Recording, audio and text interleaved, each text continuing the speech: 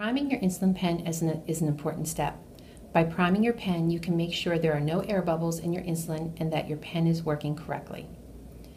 First, you want to take off that inner cap.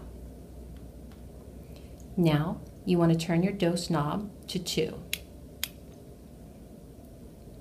Once you turn it to 2, holding the pen as you see, straight up, you want to tap your insulin window to see if there are any air bubbles. And if there are, they move to the top. Once you've cleared all the air bubbles to the top of the insulin, press the knob, hold, and you want to see insulin coming out the needle. If you do not see any insulin coming out of the needle, repeat the priming step again by dialing up another two units and pressing the dose knob.